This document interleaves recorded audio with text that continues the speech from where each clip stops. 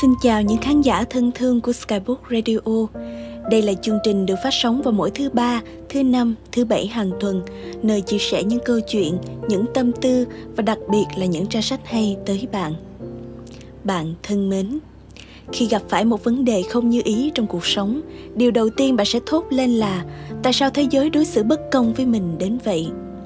Lúc nào người gặp xui xẻo cũng là mình nhưng bạn không nhận ra rằng thế giới vẫn luôn lén lút yêu thương bạn vô điều kiện. Chỉ là bạn chưa nhận ra mà thôi. Bạn không thể kiểm soát được mọi thứ xảy ra trong đời mình nhưng chắc chắn bạn có thể kiểm soát được tâm tình của chính mình để đón nhận sự ân cần của mọi người xung quanh đang dành cho bạn. Đó cũng là những tâm tư mà Quỳnh Trâm muốn gửi tới khán giả đang nghe radio hôm nay qua một tảng văn mang tên Thật ra, thế giới vẫn luôn lén lút yêu thương bạn. Xin mời các bạn cùng lắng nghe. Trong cuộc sống đầy hối hả, không ai trong chúng ta chưa từng vấp ngã. Bạn đang phải chạy đua quá nhanh cùng với guồng quay thời gian trên một con đường lắm chông gai và đầy sỏi đá.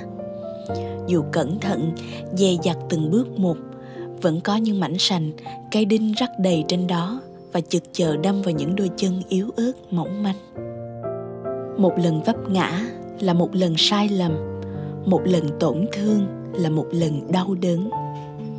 Nhưng trong sự mệt mỏi luôn có sự quan tâm, thế giới này luôn dành một phần dịu dàng để đối đáp lại những nỗ lực của bạn. Có một mẫu chuyện nhỏ trên mạng như thế này. Có một lần, bố tôi ốm nặng, nằm trên giường bệnh hơn nửa tháng rồi mà không tỉnh.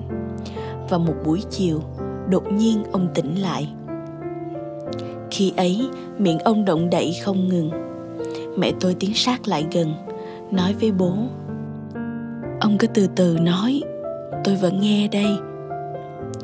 Bố tôi yếu ớt thốt lên rằng, con gái sắp đi học về, bà đã nấu cơm chưa? Có những lúc con người ta không hề biết được làm con của cha của mẹ là điều hạnh phúc biết bao nhiêu bất luận bản thân họ đã phải trải qua những gì, điều đầu tiên họ nghĩ đến luôn là, con cái có khỏe không? Ngay cả khi bạn nghĩ rằng mình thực sự cô đơn, thì đâu đó ở ngoài kia vẫn có một người nguyện đem hết sự dịu dàng vốn có để sưởi ấm trái tim bạn. Việc bạn cần làm là ngồi xuống và nghỉ ngơi, để đôi chân thương tổn kia lành lại, rồi hẳn vững vàng bước tiếp thượng đế vốn rất công bằng. Người lấy của bạn đi một thứ gì sẽ bù đắp lại một thứ tương xứng. Bạn hãy thử một lần tập trung quan sát những người xung quanh mình xem.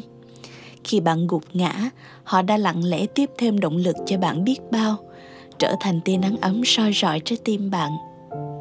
Hãy nhớ rằng bạn không thể chạy nhanh trên một đôi chân có thương tích sự hối hả của bạn lúc này chỉ làm cho bạn ngã xuống nhiều hơn. Thậm chí tồi tệ đến mức bạn chẳng thể đứng dậy và bước tiếp. Bạn làm tổn thương chính mình.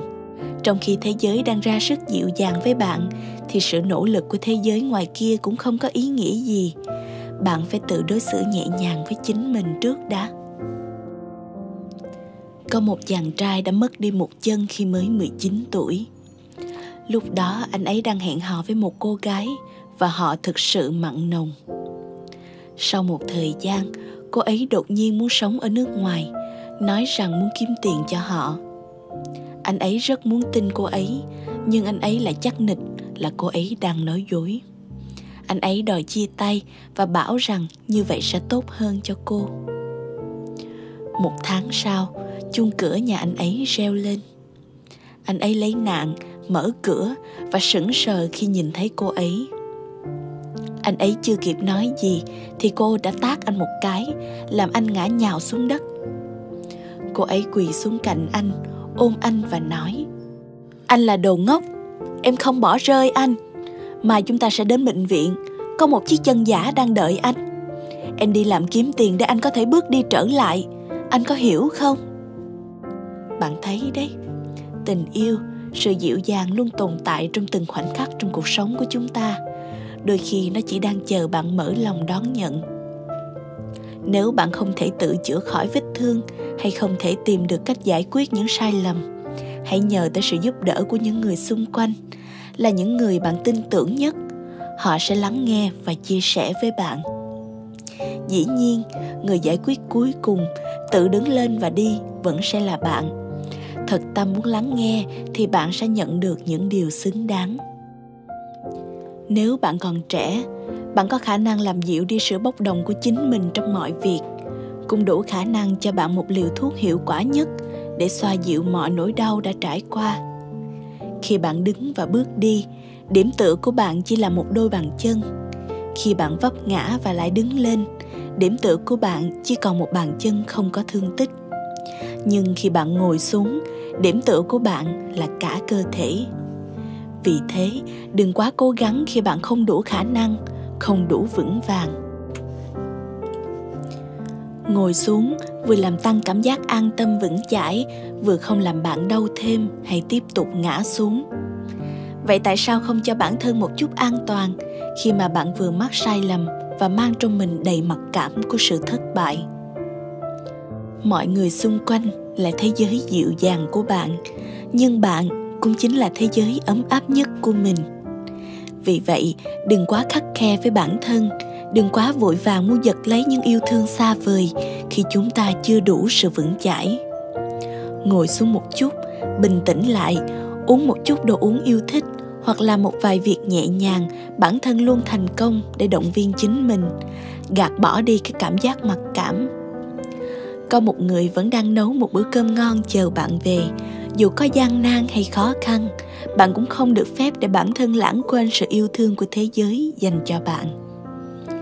Bạn sẽ thấy lòng mình hạnh phúc biết bao khi có một người luôn nguyện ý bảo vệ ta vô điều kiện, chính là gia đình. Bạn có thể trải qua một cuộc hôn nhân không mấy hạnh phúc, nhưng khi về nhà, dù cố gắng che giấu thế nào, cũng không thể qua được mắt ba mẹ rồi bạn nhận ra ba bạn rưng rưng nước mắt nói, nếu như không hạnh phúc thì ly hôn đi. Mẹ nói, ly hôn rồi vậy con của nó phải làm sao? Đáng thương lắm. Bố nói, vậy con của tôi thì sao? Khoảnh khắc đó, bạn đã vỡ òa trong nước mắt. Bạn nhận ra mình chưa bao giờ phải tự gánh gồng mọi nỗi đau buồn một mình có rất nhiều cách để chung sống hòa thuận với thế giới này. Ai cũng cố gắng tìm một con đường tắt, một lối đi thuận tiện. Nhưng con đường tắt thực sự cũng giống như để mặt mộc đối diện với thế giới này vậy. Xóa đi lớp vỏ ngụy trang, không cần phải làm một bản thân để người khác nhìn. Như vậy chính bạn sẽ cảm thấy thoải mái và hạnh phúc hơn. Thật ra, không cần quá quan tâm xem người khác nghĩ gì về mình vì suy cho cùng, con đường đời của chính mình vẫn phải do bản thân tự cất bước hoàn thành. Chỉ cần chúng ta thực sự được là chính chúng ta và để bản thân hòa mình với thế giới một cách thoải mái, thì đó chính là cách sống tốt nhất. Akira uenishi đã viết trong cuốn như mây bình thản, như nước thông dong rằng, nếu không thể thay đổi được sa mạc, chi bằng biến mình thành một cây xương rồng rất nhiều những khoảnh khắc trong đời chúng ta thất vọng và bất lực trước hiện thực. Chỉ ước sao mình có thể quên đi cuộc sống mưu sinh đang bòn rút hết thời gian riêng tư. Ước mình có thể mạnh mẽ, xinh đẹp, giỏi giang hơn để những thiệt thòi đừng làm tuổi hổ. Nhưng cuộc sống vốn dĩ không dừng lại vì ai, cũng sẽ không vì ai kêu than mà bớt đi khắc nghiệt. Vậy tại sao chúng ta không tự mình đổi thay? Sống như nước linh hoạt thay đổi, không lưu động, không quay đầu. Nếu cuộc sống là một sa mạc cằn cỗi, hãy biến thành cây xương rồng gai góc, đâm bộ rễ sâu xuống lòng đất tìm nguồn nước mát lành, để rồi từ đó nở ra những đóa hoa đầy sức sống. Cuộc sống này vốn dĩ không phải thử thách, xem ai gồng gánh được nhiều nhất, mà là xem ai cầm được những thứ phù hợp với mình nhất. Khi lòng ta thông suốt, tự khắc sẽ giống như nước vừa dịu dàng lại vừa mạnh mẽ, chảy qua hết thảy những cao thấp, trập trùng của năm tháng. Bạn à thế giới ngoài kia luôn lén lút yêu thương bạn. Chỉ có bạn chưa đối xử dịu dàng với chính mình mà thôi. Đừng quá mạnh mẽ hay gồng gánh đến cứng nhắc, chai sạn. Vì con đường bạn đang đi cũng đủ chông gai và đau khổ rồi bạn có đủ thời gian để nghỉ ngơi, để chăm sóc cho bản thân khi những cảm xúc tiêu cực tiến đến. Nên đừng để thời gian quý báu ấy dành cho sự nổi nóng, vội vàng. Ngày hôm nay, bạn có thể đi chậm lại một bước.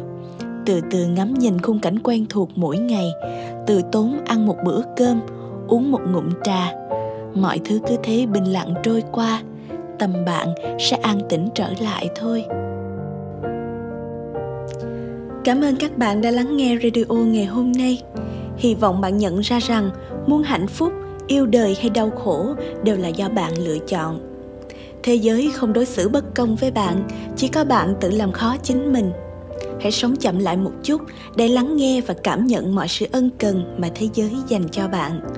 Rồi từ đó, vững tâm bước vào đời, mọi chuyện sau cùng rồi sẽ tốt đẹp thôi chúc bạn có một đêm thật ngon giấc và hẹn gặp lại trong những số radio tiếp theo.